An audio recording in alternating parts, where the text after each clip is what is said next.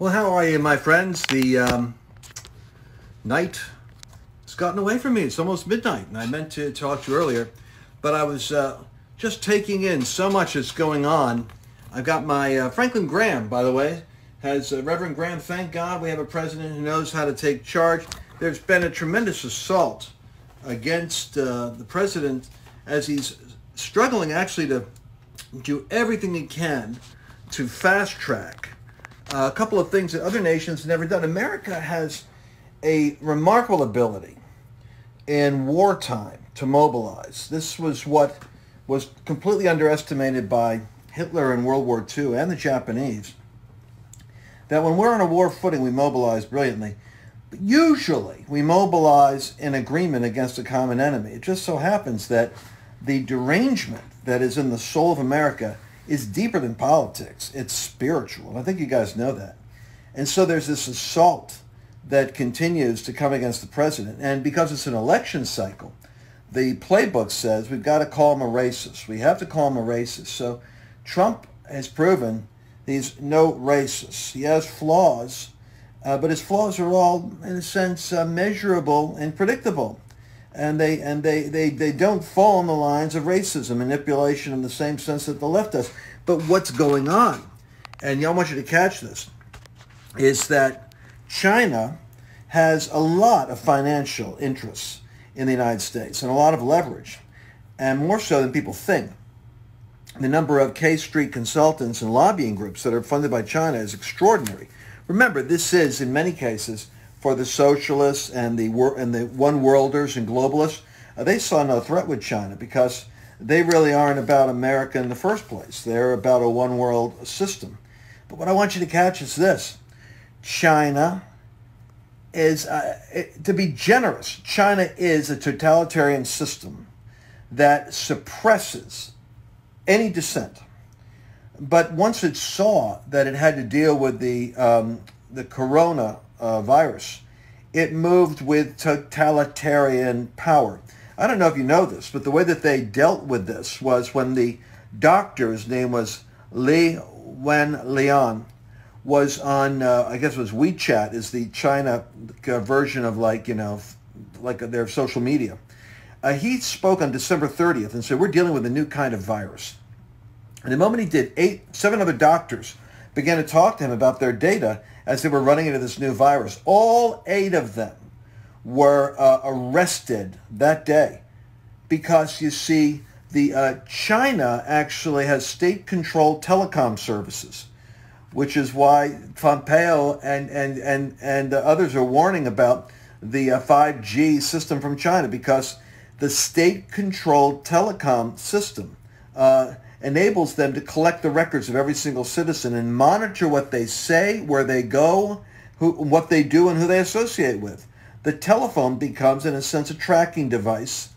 And what they what they had done was they had collected data on 700 million Chinese that were within the Wuhan uh, and, and attendant territories. So they could move expeditiously in shutting down that region of the country. Once they decided to, to deal with the virus and not deny it, uh, once they got past the politics of not wanting to talk about the thing, they moved with tremendous power, as dictators can. And of course, the country all submits reverently and fearfully to the government, which controls the universities and the media. And so in America, our universities and media are controlled by leftists, which is why we have poison running in our veins. In China, they're just they don't have that.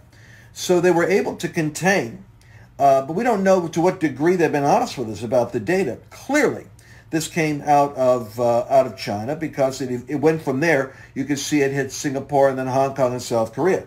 It didn't pop up in those other places. It, it has a geographic spread. So when this came out, and the doctor who exposed it uh, evident, uh, also died of it, and him and his other seven doc, eight doctors that were all arrested. Um, it's that's the way that China is.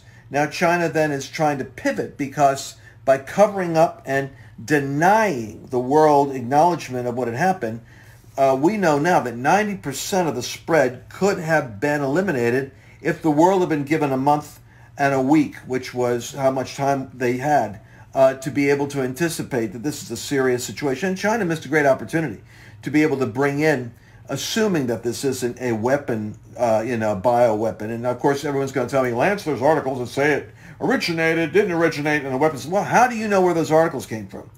This is the problem with fake news. You don't know whether China's planting the story or whether or whether uh, the left is planting the story. I mean, do you believe Russia now in the Ukraine situation? See the problem with media. Now we have a, we have a problem. Uh, so we have to read it. We have to we have to penetrate. Thank God, like Pompeo, Trump, these guys. They, you know, they they they're they're the real deal. They're simply dealing with what is. So they're coming down and saying, "Hey, man, this is a China thing." But China now is blaming the United States. They're saying the United States started this, and Iran is joining them. Iran is saying the United States started this. So when you got principalities and powers in control of media and governments, they're going to blame the United States. It's spiritual warfare all over the world. But what's happening now uh, is, I mean, when you think of 30% of the people that had the SARS virus, I think they were uh, they died. And so the statistics of death with other viruses is far, far higher. But I'm going to give you something that came from, from the White House on a briefing I was listening to yesterday. This the problem with this virus is that it's three times more contagious than any, any other. And because it can be carried by millennials and young people who uh, don't know they've got it, they could be spreading it to mom and dad and everybody else. And of course, they're they're uh, they're gregarious uh, Gen Zs and millennials. They they they live in packs. They're they're highly connected community wise, so they could be carrying this thing and then um, and then transmitting it because the older you get, from 50 on, it's not 60, 70, 80, 90s. It's from 50 on. There's like a, you know a three percent chance, two percent, then three percent chance, and then the numbers start to go up in terms of vulnerability. Uh, so the, uh, the, the virus can exist on surfaces, on plastic. It could be for four days. Some people they don't know. It's as much as a week or maybe even more. So you know somebody sneezes that got it and, and walk through and, and wipe, you know, then they open the door, you know, open the door, and then your hand's on that door, and that virus could be there. But it's freaky. I mean, it's kind of like almost like a Stephen King type thing if you let it get to your head. So you got three more, three times more contagious, and my, of course, my nose would itch when I'm doing the broadcast. And then um, it's spread by people that don't have symptoms. Primarily, though, women, you can you can rest. Pray for the men. It's older men that are primarily getting getting this. Um, and uh, and there's some truth to the fact that if you're O-type, you're less less susceptible. But uh, but if you have any other kind of conditions, then it, then it becomes very very bad. Bathroom doorknobs, kitchen cabinets are unknowingly spreading. Do you know how many times they wash their hands in the White House? I was talking to them. 20 to 30 times a day, the people in the White House are washing their hands. Um, you need, and, and so seniors, if you're a senior citizen, I suppose senior has to be older than me, but senior, 70 years old and older, I guess. You have to treat everyone coming to your house as if as if they are contaminated. You have to keep a distance and don't have physical contact. Of course, they're suggesting not having physical contact with anyone, even in the house, which is kind of, you're supposed to keep your six-foot distance. Nobody's asked the common sense question, how do you sleep with your spouse at six feet distance? But um, we'll, we'll let that go for the moment because I, don't, I think it's just a general rule. The, um, the the the probability is if you look uh, if you go to the if you go to the internet site Worldometer, you're going to see how the thing is spreading and where it's going. But the United States, the president responded.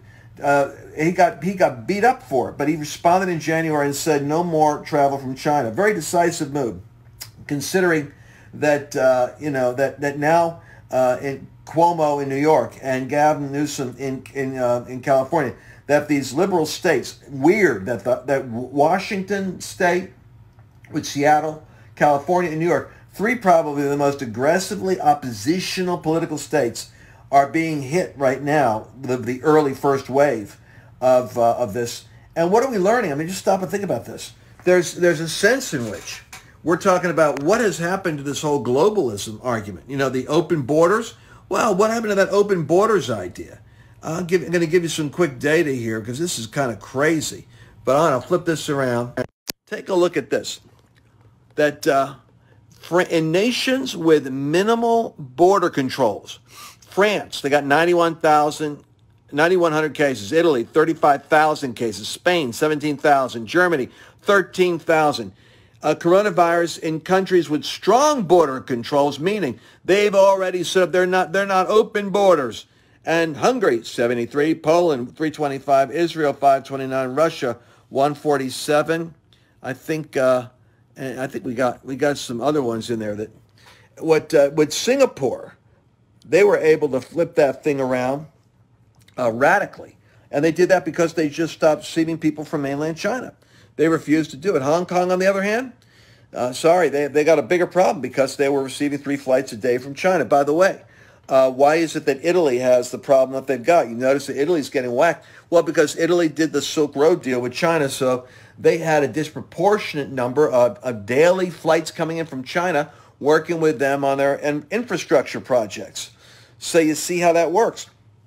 And so it's it's it's a it's a study right now in how you really don't want open borders, do you? When it comes to a moment like this, you want to be able to have you want to be able to have control of your borders. And by the way, China has no problem locking down, like I said, 700 million lockdown. The moment they came to terms with the fact that forget our international reputation, we got to protect our our our industrial base or our economy will will collapse. Now we have a whole different kind of a, a situation going on. But I, I, want to turn back to the, um, uh, the what's happening with the United States. I, I heard uh, Gavin Newsom make this announcement about California. His his calculus is like some 20 million of the 40 million are going to be are going to be um, having this this illness. I, I I personally looking at the data, I think that that's like an overreaction. You're taking what the the world's um, is that uh, what is it the seventh largest or fifth largest economy, maybe the third largest economy, uh, just California alone. You shut that down, and you're affecting I'm more concerned about the economic fallout of what's happening than I am about the virus. Because you can look at the statistics. Even though I just got done saying three times uh, more uh, uh, contagious than other flus, the fact of the matter is it's the, it's the cure that could be more dangerous than the illness. Uh, because the deaths have, have been, have been, have been uh, disciplined. And the more people that are going to be tested and come out positive with uh, the coronavirus which doesn't always have strong symptoms. The more the death rate is going, the mortality rate is going to shrink down to probably something more like 1.5%. And it's going to be 1.5% primarily males and probably and primarily older men. So, uh, but the economy is, is, is what you ought to be praying about because uh, the, if the enemy can destroy America, if the enemy can take down this government and Trump, uh, I don't have to tell you what the alternative is. So, and this goes to to part of what I wanted to talk about right now, real quickly, which is the uh, the international scene and, and what's happening. Like the president, you guys did see this today, right? I, I got to show you this because the president has had to deal with the China thing is like what the left is hitting him with now. They because they want to call him a racist all the time, right? So Trump just had it today in the. Uh, here's, here's what went down. Take a look. Why don't you see this? Is it possible that your impulse to put a positive spin on things may be giving Americans a President's trying to encourage them on drug development. We're working on it. When you say the Americans were scared, though, I guess nearly 200 dead, 14,000 who are sick, millions, as you witnessed, who are scared right now. What do you say to Americans who are watching you right now who are scared? Uh, I say that you're a terrible reporter. That's what I say. I think it's a very nasty question, and I think it's a very bad signal that you're putting out to the American people. The American people are looking for answers, and they're looking for hope. And you're doing sensationalism, and uh, the same with NBC and Comcast. I don't call it, I don't call it Comcast, I call it Concast. Let me just, uh, for, Concast. Let me just say something. That's really bad reporting. And you ought to get back to reporting instead of sensationalism. He's right. How about reporting, instead of the gotcha questions, to the American people? Uh, it's kind of interesting because you see what they're what they're doing. They had four follow-up questions on. Isn't this uh, what you're saying racist about China? Uh, and and you know, and Trump is saying, look, this is. And by the way, China's reporting the United States as the sources. I told you that. But the reality is that um, the the left is going to continue to instead of pulling together. Like I said, we have wartime situation here economically dealing with this um, this virus. But it, the left will not let up on this because they want, they simply want to take this president out. And they and racism is part of their game, their playbook for their election. They have to because they know that race, race, race, race, race line actually actually is working for them, in spite of the fact that uh, there's no question that the thing that this virus's origin origin is um, is, is coming from China, and uh, and that previous you know illnesses, uh, whether it's the Spanish flu or or or MERS, which was the Middle East you know um, virus, uh, that that regions and names, the German you know, what is it? Uh, uh, you know, the what was it? The German. What was that? It was discovered by a German, uh, German flu, German smallpox, whatever it is. The that almost all of the of the epidemics that we've had in history have had had a name that had something to do with uh, the region or or geography or origin that was able to fix a location on the beginning of the thing. So so where is this attack coming from? I'm going to say this again. When you're praying for America this is a spiritual battle in our country, and as uh, and and the spirit is going to continue to manifest, but it is a spirit of strife. We have to pray that the, there will be kind of a deep settled uh, revulsion and resistance to the politicizing and manipulation of discontent and discord for political gain. That it will be exposed for what it is you know, jazz, Jannes and Jambres, the Apostle Paul wrote uh, in the in the in the New Testament. He wrote and said, as as these men opposed Moses and their folly was revealed to everybody, um, the folly of these also shall be revealed. We have to pray that the folly of these people is revealed, meaning that if people are not sincerely, it's one thing you can have a sincere difference. You can have a sincere opinion. But if you're being, if you're simply got a, a foul spirit and you're looking for opportunities to attack uh, a leader, there's something wicked about it that needs to be revealed as wicked, and we need to judge it as such. And spiritually, with all the prayer going on, I think we need to we need to hit that as well, uh, because the the uh, the uh, I believe that the Chinese propagandists uh, are are have more sympathy in, in the left in the United States and our in the socialist community than there is um, in the United States with the left a, a respect and appreciation for the United States. And I think we ought to start to expose where mainstream media is participating in that narrative that is taking down America and attacking its own president uh, instead of standing with him. And I'm talking about the Atlantic is doing that uh, right now, and uh, and other uh, and other other um, media labels. However, having said that, I want to give you one thought and then we're gonna we're gonna we're gonna uh, take a look at a, a, Bible verse and and and pray because the Lord is moving in a powerful way to really put uh, a, a, Sabbath in place where so many of us are being reconnected with families. So many people, it's almost like the Jews coming into the Passover where the blood is being put on the doorposts and and uh, so that, so that the the death angel passes over there's, uh, there's, there's reason to believe that God is having his way in the whirlwind.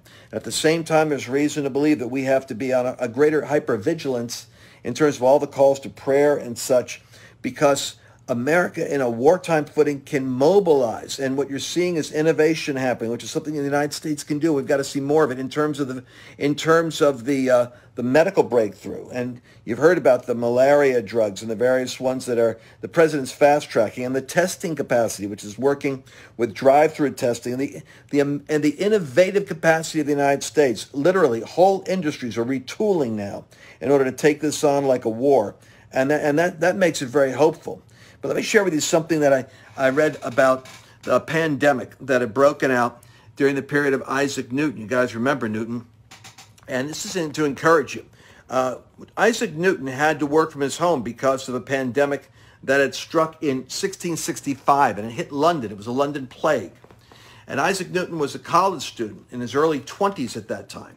And what Isaac Newton, uh, he hadn't yet discovered uh, the bacteria, uh, uh, scientists hadn't discovered the bacteria that caused the plague, but people were practicing in their own primitive way a form of social distancing, uh, what Americans and others around the world are practicing today because of the, of the coronavirus. And in Cambridge, where Newton was studying, he sent students home to, uh, they were all sent to return home to their, for their studies, and Newton was one of them. And uh, for about a year, he spent away from his professors. He called it the Year of Wonders because Isaac Newton uh, as a believer was being visited by God with unique insights into mathematical papers that were the part of his early calculus, conducting experiments while he was in that period of quarantine, from which sprung all of the theories on optics, began to ponder the theory of gravity. When he returned to Cambridge, in 1667, he came with the theories that were birthed in the isolation of what he went through in the London plague. Two years later, he became a professor. And uh, right now, uh, Americans are being forced to work at home, study at home, and uh, kind of like an isolation. It's called, in, in terms of destiny processing, there's a language for this called isolation processing. It's when God puts a parenthesis, puts you into a, a cocoon, and, and shoves you in there, and it's kind of you're wrapped up with in this confined space, and in the cocoon, God is starting to birth something in you, put new thoughts in. He's de- he's delivering you in a sense from the outside uh, stimulus of going places and forcing kind of a geographic visitation, if you will, of the Spirit of God uh, to you. And while we're there at this time, I want you to think about just like um, Isaac Newton. This isn't this isn't a time that's being wasted. This is actually a time that God has set. And, and, and the whole world is being shaken right now, which is why I want to go to pray because I've said all along that the book of Haggai is the, is the book for where we are. Isaiah 45 prophesies the era of Cyrus's rising. And Bolsonaro is a Cyrus in, uh, in, in uh, Brazil. And uh, Viktor Orban is a Cyrus in Hungary. And we're looking at the Cyrus era where Cyrus leaders are rising. And when Cyrus rose, he, um, he gave the decree for something to happen and set some things in motion, as, as we believe Trump has done with Israel and with acknowledge, and recognizing their right to, to nation status and, and how he moved the embassy. And so there's this period of decrees going on, and Haggai addresses something. The prophet, when the first Jews were going back in the decree that uh, Cyrus had given to go back to Jerusalem and rebuild the temple, the Jews went back, but they got stalled. And Ezra talks about this. They got stalled because of discouragement and opposition and negative press and there were deep state intrigues that were happening. Specifically, Ezra speaks in uh, chapter 4 about counselors, lawyers, litigators, legislators, and, and rumor mongers that created an apparatus that surrounded the remnant that was trying to rebuild the house of God. And they got discouraged and fatigued and disoriented and decided to retreat from the transformation of culture and went to building their ministries, their houses, their homes, and their little businesses. In other words, the people of God in the period of Cyrus uh, got tired of the resistance and went to their own vision and their own activity. And the prophet Haggai came to them and said something interesting. Evidently, there was an economic crisis because the prophet comes to them and says, did you not notice? The Lord says, consider your ways because you are, you're, you're all laboring and your money just all took off. You're, uh, you're earning wages and it all goes into a bag with holes. All the entire gains of the Trump economy just got sucked out of existence. And so it's as though the Lord is saying, consider what your priorities are. Actually, you, who knows, but that the Lord isn't using this crisis as part of what Haggai says, which is, I'm going to shake the nations. I'm going to shake every nation for one purpose. I'm shaking it to wake up my people to get involved with my house my mission and my building. I think America is God's building project. I think the I think the restoration of America is a building project that secures liberty around the world. I think whatever country you're in, your nation state is battling deep state, or it's battling um, Islamic extremism, or it's battling communist, um, you know, um, uh, elite totalitarian religious suppression. These things are real in the world right now. And what's pushing against it in Boris Yeltsin in the UK and with, and as I said, with Orban and with Bolsonaro and with Trump is sovereign nation states. That's nation states that allow for the practice of religious liberty. And as much as Russia is a, is a nasty actor in so many things, the strange thing about Russia is that the Pentecostal, the Protestant, and the uh, Greek Orthodox Christians had so much power and influence with, uh, with the uh, Putin that he does not want to displease them. It's kind of like Trump with the evangelicals. And so he has, uh, he has rendered it um, uh, has rendered homosexuality and same-sex marriage unlawful in their constitution and in their articles. This is one reason why the United States and this deep state hates Putin so much and is so obsessed with Russia is because Russia refuses to bend the knee to the gay agenda. You don't know that, but I'm telling you, that's part of the, the absolute animosity spiritually against him. Uh, but uh, as, as, as much of a rascal as he is, he keeps one eye very keenly uh, upon the influence of the Christian moral of the nation because he does not want to lose them. And so here you have an interesting situation where uh, Putin actually has a greater practice in a sense of the boundaries of culture than the rest of Europe does, which has succumbed to the um, social justice genre and, and limits freedom of speech. So I'm just telling you, the world isn't always what you think it is. Haggai says, hey, the nations are going to shake. And the Lord says, not only the nations going to shake, but I'm going to shake them because of the, the glory of my latter house is going to be greater than the former house. I want you to think about this. Jesus was promised nations as his inheritance.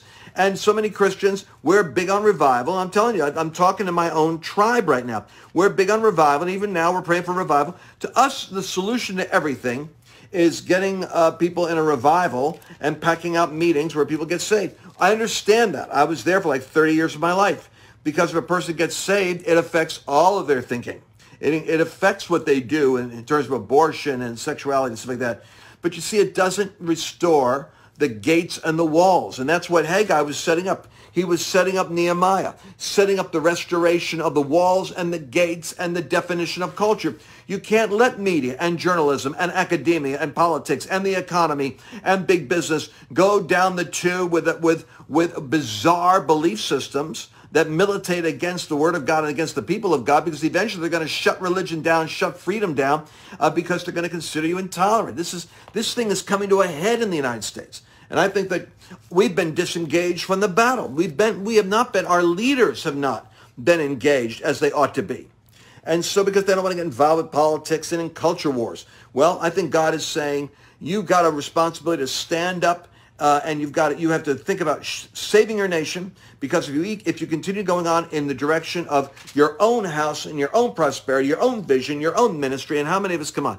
All the social media and internet companies, all the all, all the folks that I know that are out there doing their business building, and they're not actually out there in the front lines of this deteriorating culture and and uh, the crises of Western civilization. They don't want to get their hands dirty with that subject.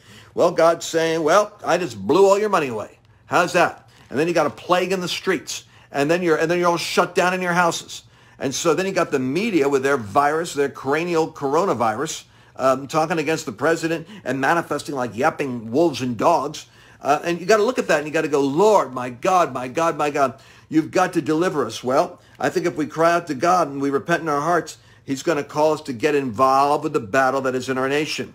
It's not just going to be uh, a revival happening down the street. No, thank God I don't have to get involved. You're going to have to get involved with the battle for the soul of your nation.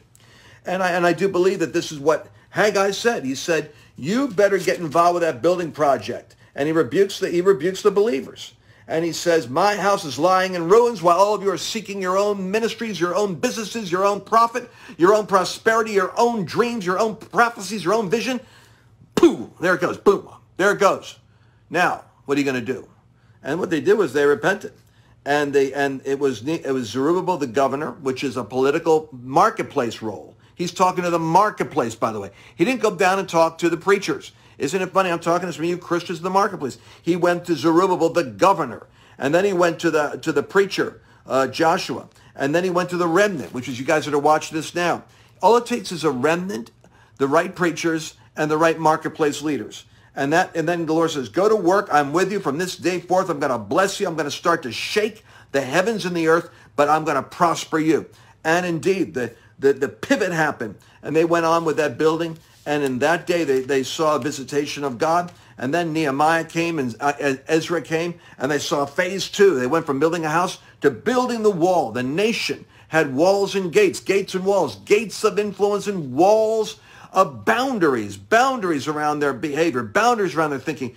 Oh, we're going to have to see something else happening in America, um, and not just um, we're going to have to answer the the questions that are being asked by a secular world about the relevance of Christianity. What is Christian economics? What is Christian enterprise? What is Christian solutions for the inner city, for the poor? What about injustice? What's the Christian answer where race is concerned? If we don't show up and tell the truth, the virus, the coronavirus uh, intellectually has already started to spread around this country and, and it would take down this blessed nation in the next election cycle. So we're standing right now in a very precarious place. You want to go to Zechariah, the Zechariah and Haggai, back to back, those two prophets, an old guy and a young guy. They prophesied, and uh, they prophesied to Zerubbabel, the marketplace Christian in the era of Cyrus. They prophesied to Joshua, the local church pastor and preacher creature in the era of Cyrus. And, uh, and, they, and, they, and they both prophesied that God was giving them authority to walk in a heavenly place in the courts of heaven, and that he was going to move the great mountain that was in front of them, the great challenge that was in front of them, and he was going to do it with shouts of grace. And, uh, and the Lord says that mountain is going to move. You ever see the Egyptian pyramids? You know what that is? They were formed in the shape of mountains because man in the Middle East always knew that the mountain of God, believe it or not, was in Eden. Eden was a mountain that was a mountain region that was there in Eden. And so they, uh, so they always saw the mountain as a symbol of God's uh, reign and, and, and the supernatural, which is why it says in, in the book of Zechariah that Zerubbabel was told that, uh, who are you, O great mountain? You're going to come flatten down. And because God is going to uh, uh, bring forth, get this, the capstone. What's the capstone? It's weird. It's the capstone is the one that comes down on top. Jesus is coming down the top of the mountains. God's coming down to judge the gates. God is coming down to invade the studios uh, in the media, and he's coming down to invade uh, the, the economic centers. Look at Wall Street. Just had to stop doing their stock, their stock exchange. Had to freeze for the first time in like the history of Wall Street. It's cleared out. It's God saying, hey, I'm blowing on this thing. You better be still and know that I'm God and start getting paying attention to what I'm saying. And how's it going to happen? I love this with shouts of grace. Shouts of grace. That's kind of that's kind of cool shouts of grace, shouts of God's undeserved power and supernatural ability. God's undeserved and unearned power and supernatural ability. It's God coming with a steady current of supernatural power right now. And he's coming upon the Zerubbabels, not by might nor by power, but by my spirit, says the Lord of hosts, the Lord of angels, the Lord of angelic armies. I'm going to give you charge of my courts. If my people will, who are called by my name will humble themselves and seek my face and turn from their self-absorption and their own agenda and begin to rise up for America and begin to rise up for the sheep nations of the world and begin to put first the seeking of the kingdom, then I am going to move in an unprecedented way. I sense the Lord saying, and I'm going to give you the authority to judge the virus and stop it in its tracks. And I'm going to cause my house uh, to, be, to be visited with singular power and presence and I'm going to begin to rebuild again the broken down walls and restore the gates that have been burnt with fire. If you'll just ask for rain, if you'll ask for rain, the Lord says, at the time of the latter rain, I'm going to cause the flashing clouds and lightning. I'm going to give you showers, and there's going to be a harvest of grass in the field,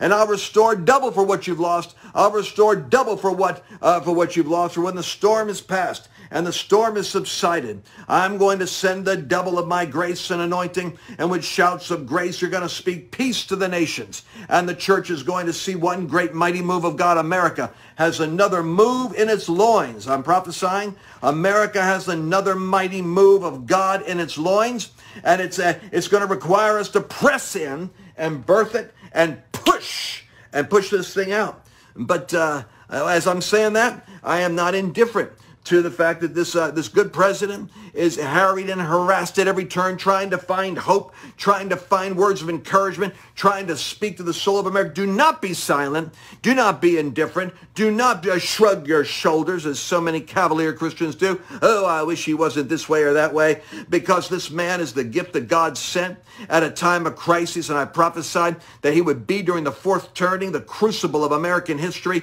the turning point of America's affairs, as it was in the Revolution it wasn't the Civil War, it wasn't the Depression and World War II, and we're heading into a combination of cultural civil war, economic, of, of, of potential depression, and, uh, and the potential of other agents operating aggressively around the world. And this man, Trump, has got to, has got to handle that, and God put the right man at the right time, and you helped pray him in, so now you're going to have to pray America through the storm Father, we thank you in Jesus' name that what you're doing is greater than anything that we saw, that you have caused a divine stillness and a rest, as it were.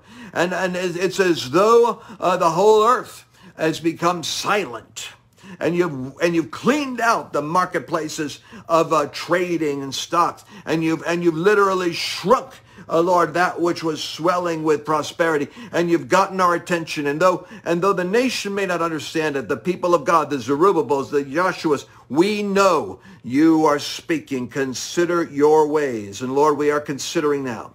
We are considering now. It is our responsibility, Lord, to repent, our responsibility to humble ourselves. We have not engaged Lord God, this day. We have not walked in the unity that is the prerequisite for your blessing. We have not labored Uh, locally in our cities and communities, politically or spiritually, in the spirit of Christ. We haven't wrestled through the tough issues. The body of Christ has been willing to be fragmented and float along, as it were, on political and economic ties with other people carrying on the battle. But, oh Lord, I thank you that you are causing a shifting right now, and we own it. We own the condition of our nation. It happened on our watch, those of us that are 60. It happened in our lifetime. The last 40 years is ours. It's our, our, our, our problem, and we own it. We failed to be the influence that others have. Other minorities that with, with agendas have been able to put their money and their influence into discipling the nation while we sought other things, Lord. But now we realize that we have not cared for and stewarded the liberties, the blessings, the institutions, the gates you've given us, the universities we've allowed to be gobbled up, uh, the, the, uh, the, the, cor- the corporations we've allowed to swing where they want to go. And uh, Lord, we've allowed the uh, entertainment and media to just do what it wants to do. And Lord, then we allowed politics to be able to be a selfish pursuit and all of us voted for whatever would get us what we wanted. And Lord, we, we, we deserve, Lord, that which uh, we, we deserve more judgment than you've given because you're merciful. And we're confessing these sins, the abortion, uh, uh, that has happened. The, uh, the tide of, of, of, perversion and confusion regarding gender and sexuality and, and, and, and morality and in every direction, Lord God. I almost hesitate to use the terminology for fear I'll get, I'll be, I'll be judged uh, harshly. But Lord, your word has been neglected and denied and we haven't respected you. And we, we've been selfish in our pursuits and cavalier in our critiques of authority. We haven't prayed, we haven't wept, we haven't fasted, but we've got big mouths and we talk a lot. Lord, forgive us for having offended you and, and grieved the majesty of your grace, your mercy, your spirit, and your patience with us has been do, exasperated time and again, but you still extend your hand and you call us to greatness and you call us to, to, to not let the, the torch on that Statue of Liberty be extinguished in the New York harbor, to see that Liberty Bell cracked but not broken in half. And so, Lord, we are asking you for mercy. We're asking you that in our isolation, in our homes, in our places where we're, we're locked up. Visit us here, Lord. And, uh, and, and, and talk among us. We have the social media. We have the ability to talk among ourselves, to build windows of revelation and hope and communication, and to build walls of unity, and to begin to put the stones together. I pray, Lord, that when the storm passes and this, and this plague subsides, that the economy will have still a heartbeat in it that can be resuscitated back to life, but that it won't go back to business as usual, but you will have done a work in your church. You will have done a work of repentance in us. You will have done a work of sobering in us. That it's more than just us praying to stop the plague and get on with life. It's actually a reformation and a reforming of the church in America right now. Lord, we believe the storm that came upon the ship that Jonah was in was not because of them that were in the ship, but because of Jonah. He was going in the wrong direction. And so, Lord, we're willing to believe that you're shaking up and silencing and putting to stillness the whole earth and bringing it around to the United States into the church right here. And Lord, we repent for our, for our failure to steward the blessing you've given us. And we're willing to resolve to do differently. Now, there's not enough of us yet, Lord. So I pray the fire of this message and the, and the, and the, if I'm wrong, then I repent of being wrong, but I do not believe I am wrong, beloved. I believe I've said Trump was a Cyrus. You get the book. I predicted. I even wrote about Heidi Baker talking about economic collapse and bread lines with people with Lexuses pulling up to get into lines for food. And I'm praying that that is not going to be uh, the chapter that's here. But I'm telling you right now, I put it in a book called God's Chaos Candidate. And I said this is the fourth turning and Trump derangement syndrome would hit the media. And this man would be like Churchill in a crisis. He's trying to encourage us now. We got to pray and we got to push through this. I'm asking you, Father, that you will cause like-minded brothers and sisters right now to come together and say, what must we do? How should we work together? How can we lock our shields? How can we join our arms? How can we come out of this thing so the church doesn't go back to business as usual? But it's unusual business that God's doing with us. And I'm praying for an unusual move of God even right now. I pray for angels to visit the houses, angels to visit the homes. For the plague shall not come nigh thy dwelling. The plague shall not come nigh thy dwelling. And that there's going to be benevolence. There's going to be ministry and outreach. And you're going to show us how. Now, it is, it is for us to care for the poor for them that have not.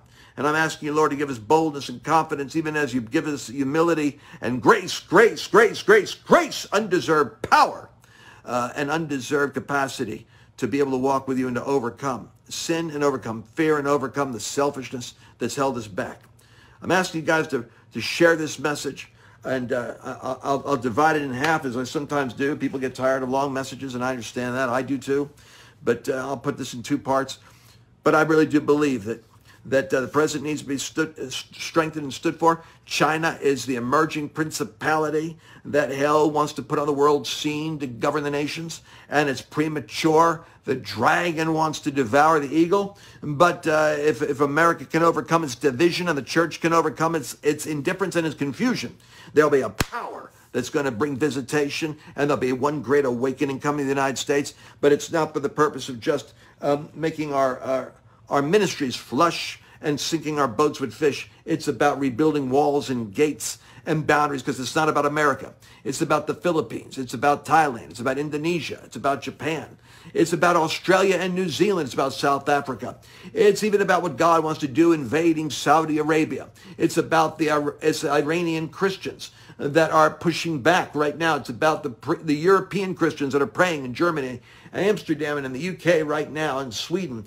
Oh my God, it's about Brazil. It's about Guatemala and Central America. The, the Lord Jesus, I'm hearing it right now. Read Psalm 2. He's been given nations. He's been given nations. He's been given nations. And it's, it's, and I believe that we have one more surge of something that must happen in the United States and that this light must not go down. The church must not be confused. Nations is what God's given us and we're called to go forth for nations. In Jesus' name. Amen. Will you share this? Will you play it, play it back and think, think about it? Pray over it. Read Haggai. Read Zechariah. Read the, read the uh, Isaiah 45. Read Ezra, the first five chapters. Tell me if I've lost my mind. I don't believe I have. I don't believe I believe it. This is exactly the biblical period of time we're in. We're in the time of the reconstruction, the restoration. Uh, we're in the period of Cyrus and the rebuilding of the house and the wall in the United States, not for the United States, but for the sheep nations of the earth. We must not mess this moment up in Jesus' name. Well, hallelujah. Thank you, Lord. Pray for the physicians, the doctors, the nurses that are working overtime. May they just be covered with the grace and protection and the blood of Jesus. And may that may may may, uh, may California not see 50%. Lord, the, the governor's actually believing for 50% of the of California to be under the influence of the plague, but it shall not be in Jesus' name. No, no, no.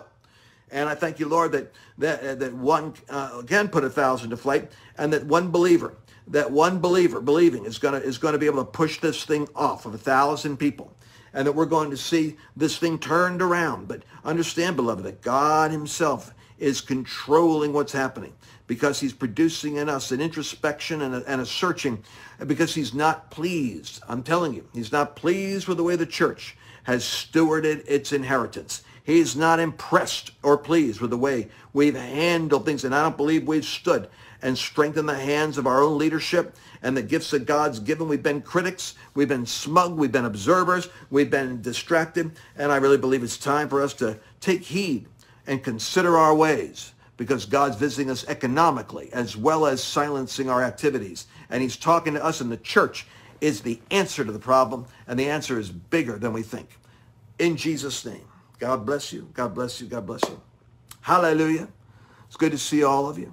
I look forward to talking. Send your comments. I read your comments. I see my son Carl is watching. I just saw that.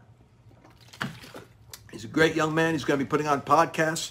He's going to be interviewing people that have taken mountains. Carl is going to interview people that have taken mountains. He's going to be doing it. What a great time to launch a podcast thing. He's going to do videos, and I'm lining up friends of mine to talk to him. He's going to interview them and ask powerful questions about how they took their mountains and what God's saying to them now. Hallelujah. And all of you sons and all, all of you that have sons and daughters, I'm telling you, this is the season of all the prophecies that God ever gave you about your sons and daughters. The Lord says he's, uh, he's, he's moving now in the bloodlines. He's moving now in the bloodlines. He's breaking generational curses and iniquities and uprooting them. Even now, there's a sweeping of God's Spirit in the households of the righteous, and he's plucking up by the roots the uh, activities that have tried to militate against the inheritance that God has wanted to give. And now you're going to even see your households coming into alignment, and you're going to see the assignments of God, the uh, Abrahams and Isaac and Jacobs, the three generation assignments are being established right now. They're coming strong into you that's listening to me. They're coming strong to your sons and daughters. And there's another generation coming out of them. There's another generation coming out of them. Evidently, it's not over yet. That's what I'm hearing the Lord say. There's another generation coming out of them. They will have uh, the, their, their sons and daughters. And in the Holy Ghost, we're, we're called to rise up. Let's finish strong. My generation, 60 years old and older. Let's, uh, let's, uh, let's not be... Uh, Let's not go out with a whimper, coughing, and, and, and go out with corona. Let's, let's go out with the hands upon the pillars and bring the Philistine houses down in Jesus' name. Hallelujah. I love you guys. I'll be talking to you soon. Bless you. Hi. I'm Lance Wallnau. I want to thank you for watching this broadcast. And if you'd like to see more of what we've got coming up, and you never know when something new is going to be interesting, just hit the subscribe button right there, and I look forward to seeing you in a future broadcast.